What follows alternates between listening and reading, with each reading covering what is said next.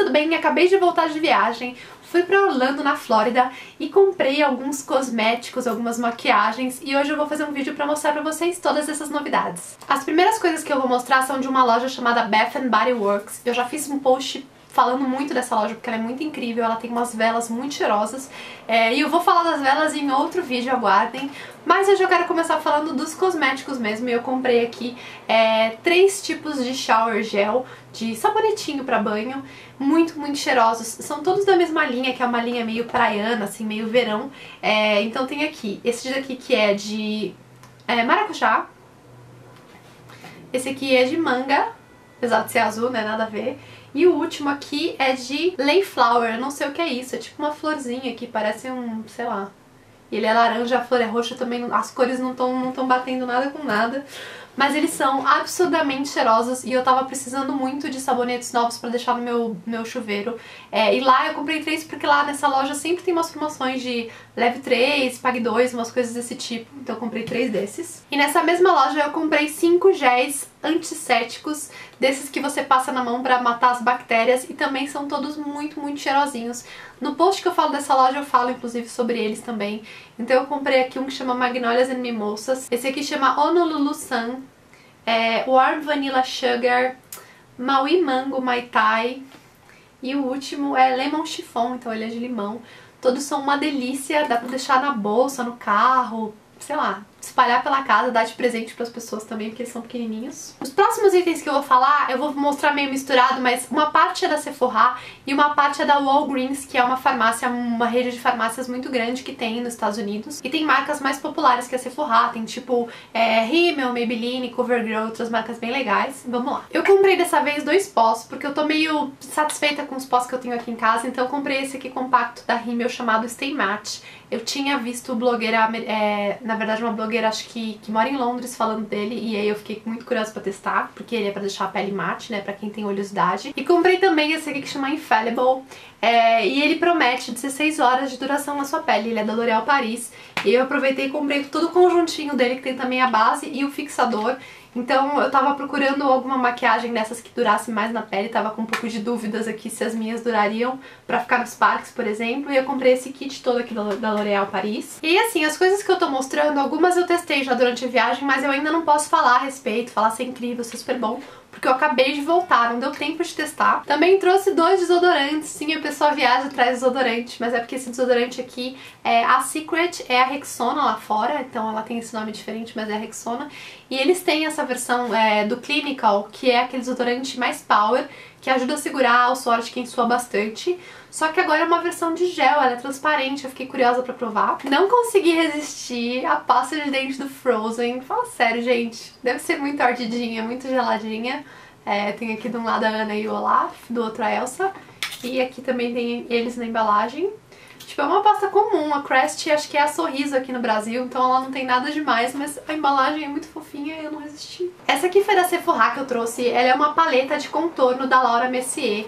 Esse é um item que tava na minha wishlist, eu cheguei lá já procurando por ele, apesar de eu não saber usar ainda, porque ela tem várias tonalidades aqui pra você fazer contorno e iluminação, e são todos cremosos, então é uma coisa que eu ainda não sei como eu vou fazer, se eu esfumo com dedo com esponjinha, vou descobrir conforme for usando, pois conto pra vocês se é muito legal. Também paletinha, comprei outra que eu tava querendo, que é da Hourglass, ela é uma paleta de iluminadores, essa paleta eu namorei ela há muito tempo, umas duas, três viagens que eu já fiz, e dessa vez eu resolvi trazê-la pra casa.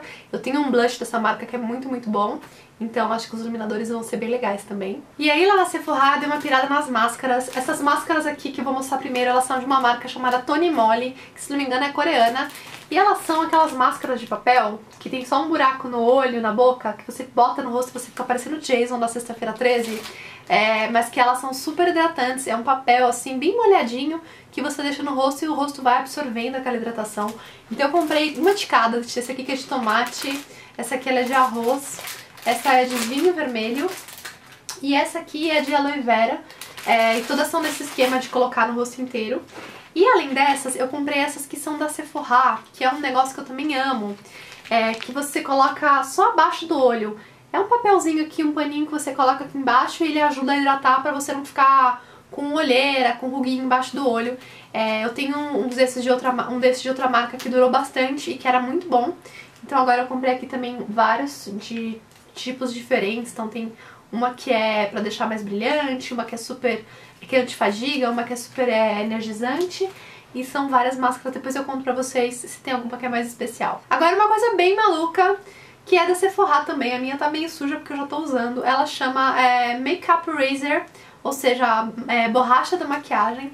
E é uma toalha. Então ela tem um lado aqui que é mais macio, um lado que é um pouquinho menos macio.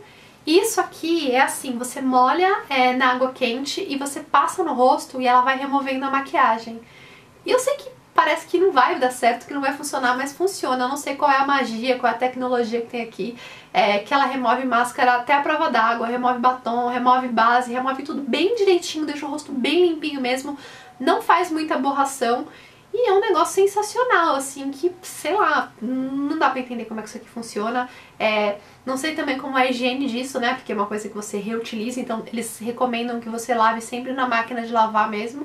Tá aqui, funciona e fiquei bem chocada com isso. Para a pele, é, também da, da Hourglass eu comprei um primer diferente aqui deles, mineral, é, que a Ká falou pra mim que é o primer dela que mais faz durar a maquiagem, então acreditei aqui na resenha dela, comprei pra testar. Também comprei é, a base da Makeup Forever, essa base eu já tinha, já usei até o final do potinho, é uma base boa, muito boa. Ela é bem pesadona assim, boa pra festa, boa pra gravação, pra, pra dia que você vai fotografar muito. E eu tô com algumas dúvidas com a, minha, com a minha cor de base. Eu acho que eu tô meio branca, mais branca do que o normal, então as minhas bases que eu tenho na gaveta não estão servindo pra mim. E eu acabei comprando um tomzinho mais claro desse aqui. E também da Makeup Forever eu comprei esse Mist and Fix, que é o fixador, e que eu também vi alguém fazer uma resenha falando que ele era muito bom. Mais itens de farmácia, eu comprei esses Listerines aqui, versão... É... Ele é uma espécie de uma fitinha que você coloca assim em cima da língua e ele derrete na sua língua e deixa você com um hálito de berries, bem cheirosinho, bem gostoso. É legal pra ter na bolsa, às vezes não dá tempo de você escovar o dente, tipo, comer um pedaço de pasta de dente também não faz sentido. Então esse aqui é uma espécie de um Listerine líquido em versão Vita, entendeu? Outra comprinha de farmácia aqui foi essa Gillette Venus, num tamanho mini, bem bonitinho, você coloca aqui e você leva pra viagem. Então ela é a lâmina tamanho normal que você tá acostumada a usar, passar na perna, só que o cabo dela é bem pequenininho, assim, bem fácil de segurar. E eu achei que era uma coisa bem legal pra ter aqui pra quando eu for viajar. Trouxe também duas cores diferentes de Color Tattoo da Maybelline. São dois tons de marrom novos que estão sendo lançados lá fora e que ainda não tem aqui. Eu adoro essa sombra, já falei dela nos meus favoritos do ano, eu acho.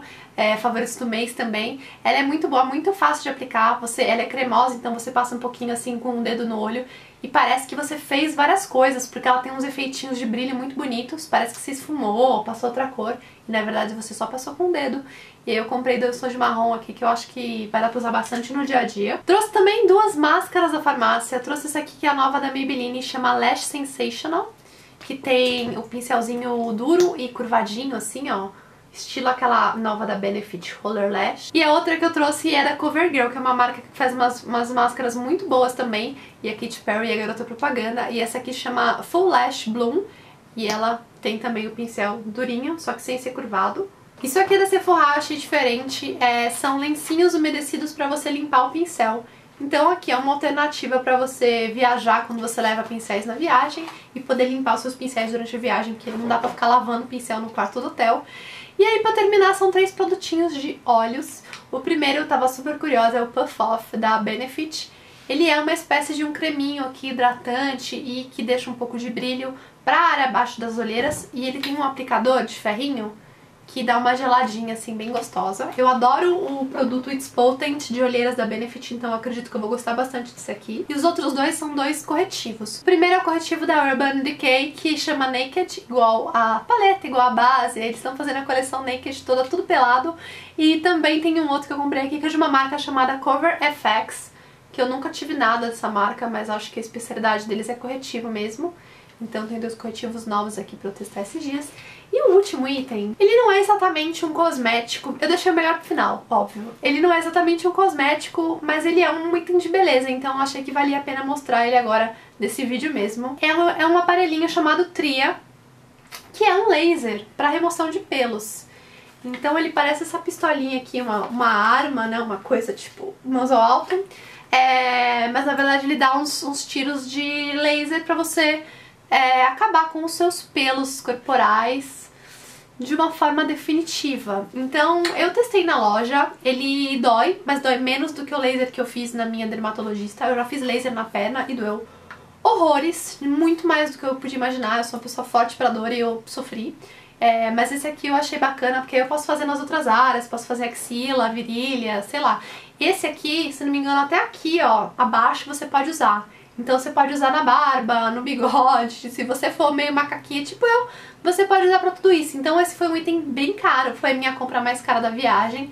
Porém, é uma coisa que eu acho que a longo prazo vai valer a pena.